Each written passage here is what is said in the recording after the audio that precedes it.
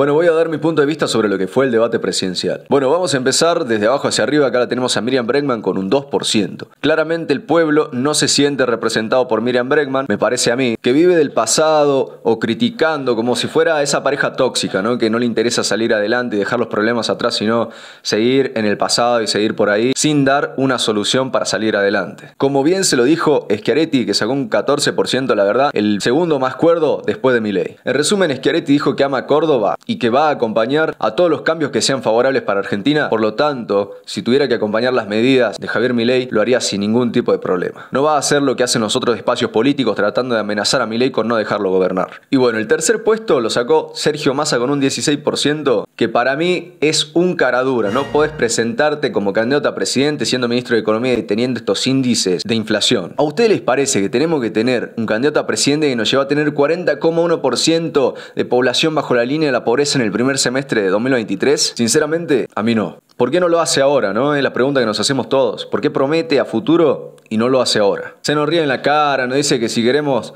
ahorrar que compremos un auto, yo me puedo comprar este autito. Este fue el único autito que yo me puedo comprar con masa. Muchísimas gracias masa por darme consejo de ahorro y por sobre todo, muchísimas gracias porque no vas a ser presidente. Así que muchísimas gracias principalmente por eso. Bueno, en segundo lugar la tenemos a la nona, Patricia Bullrich. No sé por qué, para mí tendría que haber estado Schiaretti, pero bueno. No supo responder a la pregunta que le hizo Milei, súper básica. Si quiere ser presidente, tendría que saber más o menos cómo va a gestionar la economía en el país o qué medidas se van a tomar. Las tendría que tener bastante claras. Y no supo responder ni siquiera qué son las LELIX. Me parece que ya no hay nada más que discutir. Tenemos presidente en primera vuelta. Obviamente ese candidato es Javier Milei que sacó un 47%. El único candidato con propuestas reales que te dice de acá a 35 años vamos a ser potencia, no te dice de un día para el otro vamos a ser potencia y demás, no te pinta pajarito en el aire, un mundo color de rosa, no, sé cómo se dice, pero bueno, no te, no te hace eso. Te dice las cosas como son. No escapó a ninguna pregunta, ni siquiera a las preguntas más filosas y mala leche que les hicieron el resto de los castas que estaban ahí debatiendo, para seguir viviendo del sector público, cosa que no hace Javier Milei y no necesita tampoco para poder vivir. Así que ya está, para mí ya está.